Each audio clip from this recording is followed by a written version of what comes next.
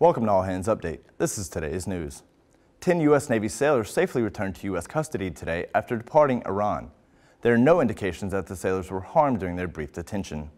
The sailors departed Farsi Island aboard two Riverine command boats they had been operating before they were detained and continued toward Bahrain, their original destination. Exercise Solid Curtain Citadel Shield 2016 begins February 1st. This annual anti-terrorism force protection exercise takes place on Navy installations located in the continental United States. Approximately 300 events will take place to train Navy security forces to respond to a variety of threats. The Los Angeles-class submarine USS City of Corpus Christi arrived at Fleet Activities Yokosuka as part of its Indo-Asia Pacific deployment. This visit will be the final foreign port visit for City of Corpus Christi as the boat wraps up its final deployment. You can read more about what's happening around your Navy at Navy.mil.